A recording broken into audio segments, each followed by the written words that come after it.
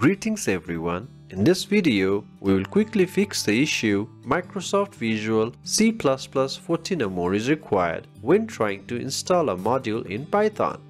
Now, despite installing Microsoft Visual C++, we are still getting the error. To show, let me open Anaconda and when you try to run this command,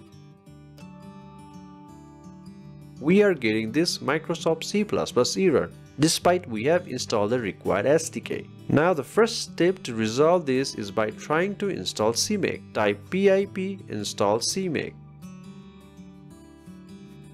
So this is already installed here but the issue has not been resolved. Let me open Visual Studio Installer. You can see we have already installed it.